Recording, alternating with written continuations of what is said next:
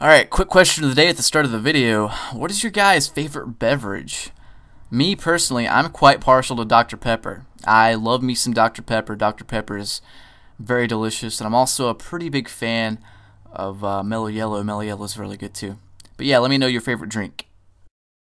Alright, this is a match I had against Flaming Spade a few days ago. haven't really done a Wi-Fi battle in a while, so I figured I'd put one up.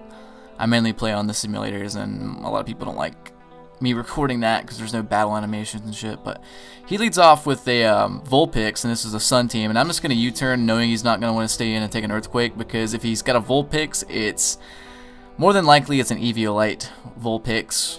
And yeah. So I go out into, uh, I U-turn out into Terrakion, my choice Banded Terrakion, and I have X Scissor on this thing, so I'm going to just go for the X-Scissor, not to overpredict too early. Um, I did have an Infernape on this team, and I switched out the Infernape for Terrakion, thinking they had different base speeds, that Terrakion was faster, but they're actually the same base speed. And the, you know, Infernape using um, Flare Blitz with the sun up would have helped me out in this battle a lot, but whatever. So I'll go into Vaporeon here, and um, just to scare away his Donphan. I know, I know Scald's weak, er in the sun, but I mean, whatever. Uh, he goes out into his Shiftry. I know he's probably not going to want to attack me straight up, and he's probably going to want to set up, so I just roar him out as he swords dances, and that's a pretty good prediction for me. And uh, he's going to withdraw his Cresselia again and uh, go into an Espeon, predicting me to Toxic, I guess, or something like that, but I just switch out, go into Mr. Bronzong here, and um, I can't set up Stealth Rocks with Bronzong because this thing is a freaking Magic Bouncer, which really annoys me. So I'm just going to go for the Gyro Ball, hoping it's an offensive set, and it's not. It's a freaking defensive set with Reflect, so that Gyro Ball does not a lot at all after the Reflect. So now I'll go into uh, old Landorus here, and I'm just going to U-turn out just to get damage on him, force him to heal up or something, you know.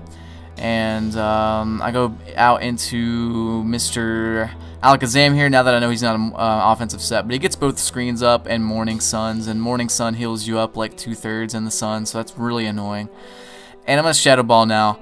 Uh, even though the light screen's up, I'm hoping for some special defense drops, and I know he can't really do too much to me.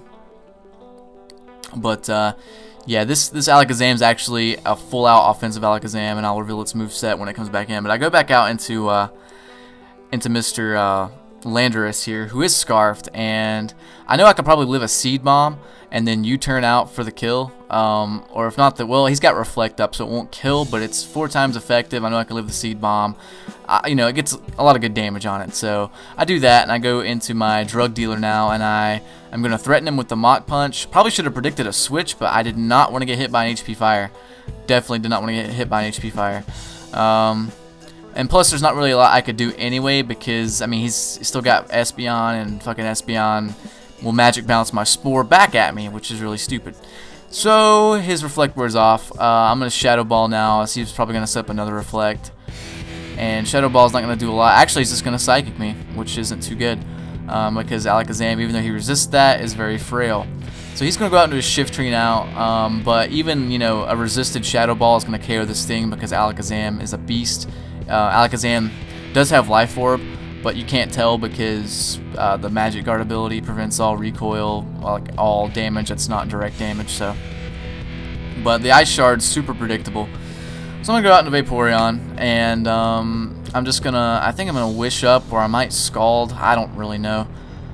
I think I just end up scalding, hoping to get. Uh, no, I just end up roaring, and he goes on to Espeon. But I kind of wanted to do that, hoping I can get switch initiative. So uh, out comes Bronzong. Again, I can't set up rocks. I can't gyro ball it because it's got reflect. You know, um, about all I can do. Well, I guess I could have stayed in and just like stalled it out of Moonlights or something. I hoped for a crit with gyro ball, but I didn't think of that at the time. Uh, so I go back out in Alakazam here, um, and I Shadow Ball on the switch, and he goes out in the Vulpix, and uh, I actually have Psyshock and Psychic on this Alakazam, as well as um, Shadow Ball, and what's my fourth move? I, I completely forget. Oh, Focus Blaster. So yeah, uh, he wasn't expecting the Psyshock, and I kill off his Vulpix, which is pretty cool. So the Ice Shard's very obvious. Again, I'm going to go out into Vaporeon to take that, and that does absolutely nothing. And um, yeah, I'm in a pretty good position right now. I'm going to Scald this thing, knowing he can't really do much, and a Burn will be mighty helpful. So, yeah, I scald him. He Earthquakes. Earthquake's to do a nice chunk, actually. And Uh, after leftovers, I'm at a pretty low health. I'm still in the yellow, but I'm going to wish up, and he's to predict that. So I'm to wish up here on his predicted switch to Espeon, and I know he can't really, since he's a defensive Espeon, he can't really kill me or anything. He's just going to set up a light screen, so I'm just going to Scald. Um, I don't. I'm, i know I'm not going to do a lot of damage, especially with the light screen and the sun up, weakening my water attacks. But I just want like residual damage on it with a burn. That's pretty much the only reason I'm staying in. And once I get that burn, I'm going to do something pretty fancy, and you guys will probably like it. Um, but yeah, he his screen wears off. He's going to set it up again. I'm just going to keep scalding, hoping for a burn. And I do think I get it this turn right here. Yeah, I do. And that's really all I wanted. And now I'm going to wish and um, do something really cool here. He's going to Morning Sun, and that's not a big deal at all. I'm going to wish, and he's going to think I'm going to switch out into something to get the wish off. But I'm actually going to Roar, knowing that it goes last, and he can't hurt me, the thing switching in. And um, hopefully, you know, it takes it roars me into Alakazam or Landorus, and it does roar me into Alakazam, and Alakazam gets all its health back. So I'm like, shibby!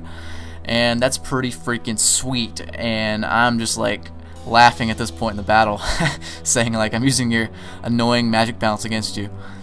But I'm to Shadow Ball, he's to Psychic. Psychic's not really to do much, but with the burn here, he's to be forced to use Morning Sun.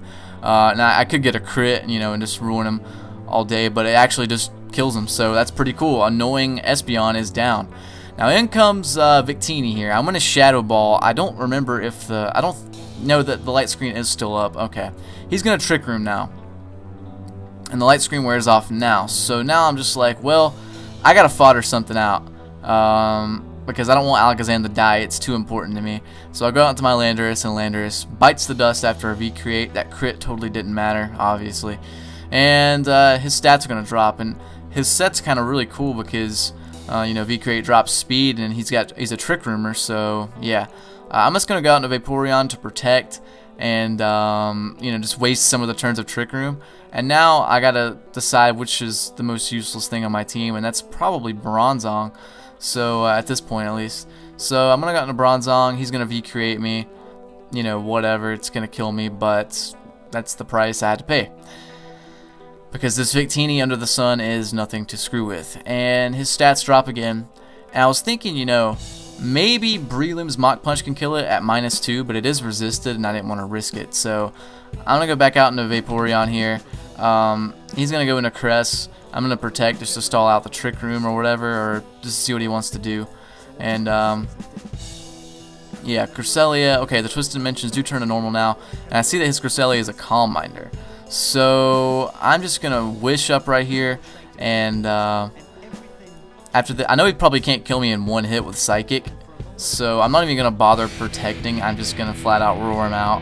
And uh, Psychic doesn't do too much; it does a little less than half, so that's pretty cool. I'll roar him out. I get my wish back, and uh, Victini is now um, in a pretty troublesome spot because I don't think he can kill me in one hit with Fusion Bolt.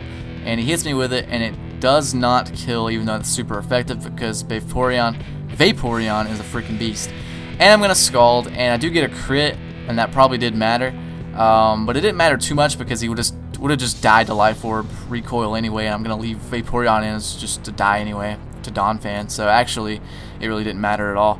Uh, I do get a Wish up here, but as I said, he's going to kill me with an Earthquake. Crit, I don't think it mattered because he did more than that earlier. So, um, yeah, so I go into Alakazam here. I should have went out into Breloom, but I didn't want him to get like a crit on the freaking Ice Shard or something.